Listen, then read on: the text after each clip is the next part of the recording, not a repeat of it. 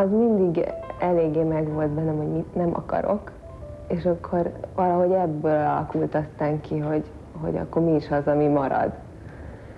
És, és valami olyat akartam, valami olyan témát, amiben jó sokáig így bele lehet szállni, és akkor, mert akkor ott az összes amúgy felmerülő szakmai problémát is ezen belül végig lehet rágni, meg egyébek, és ugyanakkor meg nem szerettem erőszakosan úgy marha nagy utakkal kitalálni valamit. És akkor jött a Blanka, és akkor tök egyszerűen jött ez az egész, hogy hát ami amúgy is történik velem, és egyáltalán.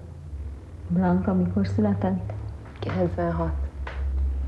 És akkor elkezdted naplószerűen tépen leképezni, vagy megfesteni? Igen, egyébként a... szó szerint. Szóval uh, otthon a kis lakásban, a konyhába egy esténként leírtam, hogy így mit gondolok, meg hát rengeteg ilyen izé, gyermeknevelési, meg mit gondol a gyerek, meg ilyeneket. Tehát nem is annyira engem a forma érdekelt, inkább ez a furcsa létállapot, ez a, hát a, leg, szóval a legérdekesebb ebből a szempontból ez az első három év, és most ezért is vagyok már nagyobb bajban, mert most már ez, ezért, szóval igazi ember problémák vannak ebben a négy-öt éves korban, már nem ez a csecsemő dolog.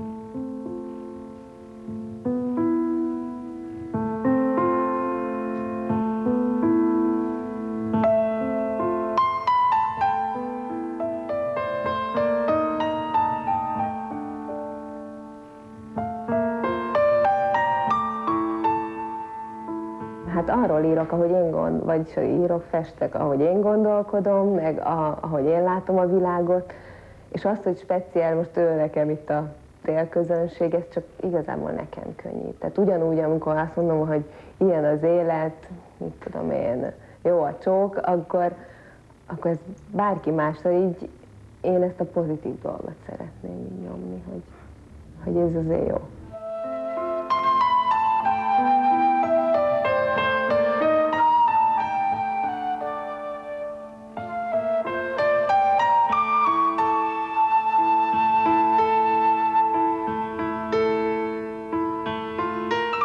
Érdekelt ez az egész téma, mert, mert egy olyan, ami ilyen közhelyesen gicses, meg ilyen, tehát engem ez érdekel, egy olyasmit feldolgozni, amit majdnem, hogy lehetetlen ilyen igaz módon, tehát hogy ne legyen édeskés, meg esztétizáló, meg nem tudom micsoda.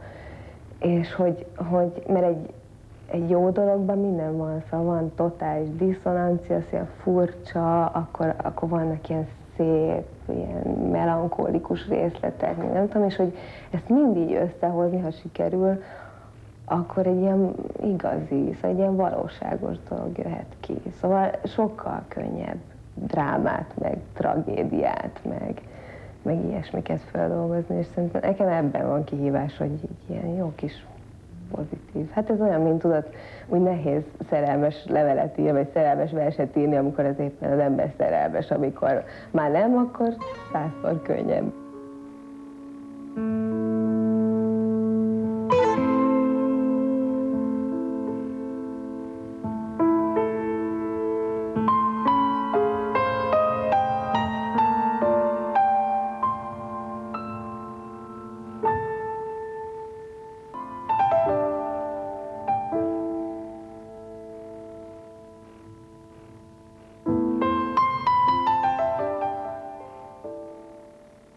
A festékben az a jó, hogy annak az annyira jó végtelen. Tehát én nem tudom elképzelni, hogy így valaha azt gondolom, hogy na ezt le tudtam, akkor most jön valami másik. Szóval minél jobban belásod magad, akkor annál többen lehetőség. Másrészt meg hát egy ilyen valódi anyag, szóval az ember úgy szereti, hogy van egy ilyen bizonyíték, vagy nem tudom, egy tárgy, ami így egy végeredmény, ami, ami hogyha jó, akkor akárhova behelyezed, még akár akármilyen fényviszonyok közé is, az hat, hogyha tényleg nagyon jó.